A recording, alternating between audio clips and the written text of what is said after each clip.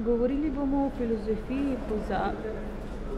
Govorili bomo o filozofijini pozabi rojstva in o Sokratovi porodniški umetnosti.